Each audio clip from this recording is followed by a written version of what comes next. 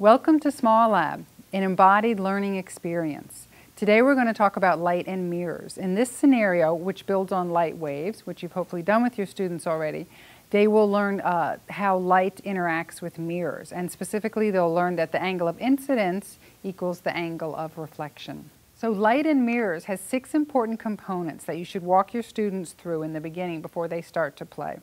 Over here in this corner, there's the add a mirror symbol. And so you could add multiple mirrors to this scenario.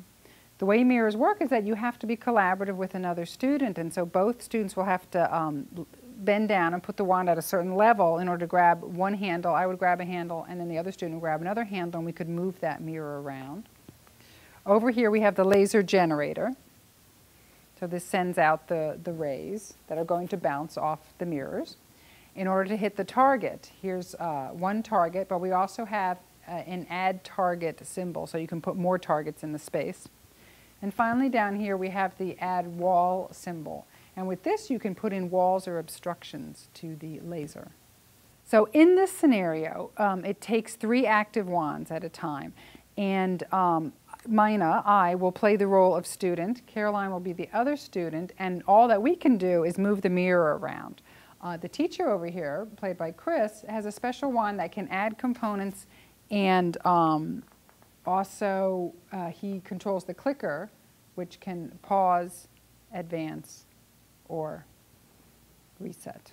Okay, so to begin play, Caroline and I are going to pick this mirror up um, I've now activated this handle because it's changed color and we can move it and we have to move together or it won't go. So now we have to dialogue also to figure out how we're going to make this laser light bend in order to hit the target.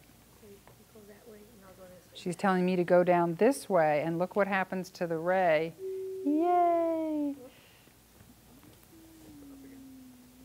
We want to make it spot on bullseye, so now we're going to move it a little more, and then it's good if one person stays stable and the other one moves down and up. Now we're going to add more mirrors to the game. So Chris, with the teacher wand, will add three mirrors.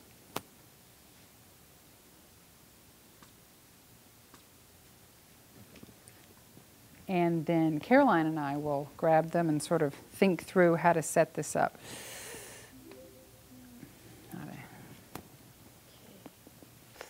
There we go. All right, let's grab the next one. Oh, you made us another one. Ah. Do you like that? Yeah. Okay. And we'll grab our third mirror.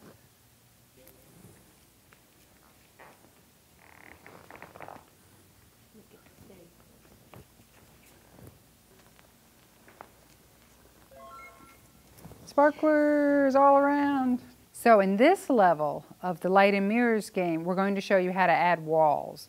So um, the teacher has already added more mirrors, and now Chris, the teacher, is going to add some walls strategically.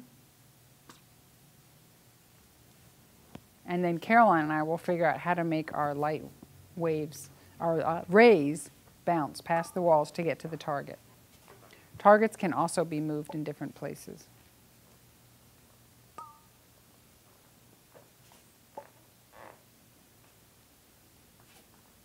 So there we go. There's that. A little more. Oh, look at that. Oh, it's just a barely kissing it in there, huh?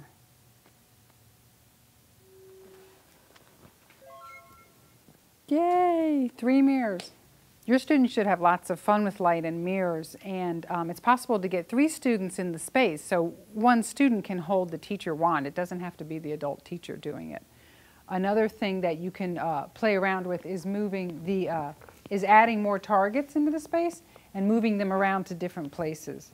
So, is this really so this target could be moved over here or far away over here.